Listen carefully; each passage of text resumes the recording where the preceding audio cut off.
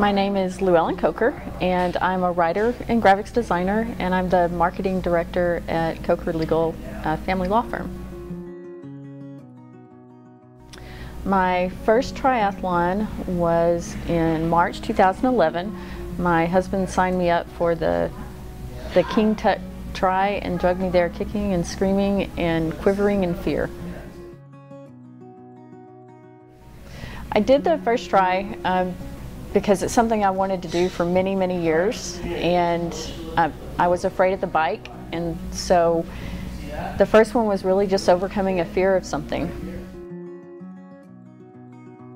My favorite aspect of triathlon is the sense of accomplishment at the end of it um, because I always push myself and I'm able to do something that I didn't think that I was going to be able to do.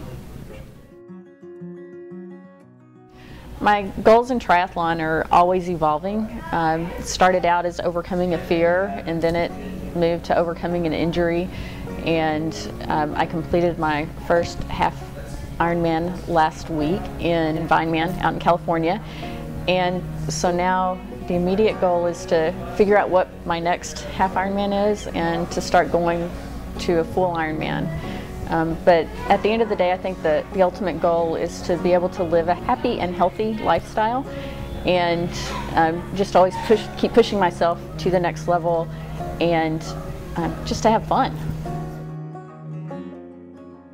I think the best advice for somebody new to triathlon is to just have fun with it.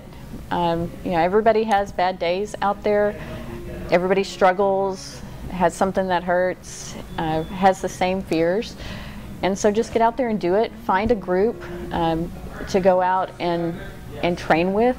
We've got a great community here in the Metroplex, and everybody's so warm and welcoming and open with it. And it's just a, a great group of people. Go out, have fun, and just keep putting one foot right in front of the other, or one arm, or one pedal, or whatever it is.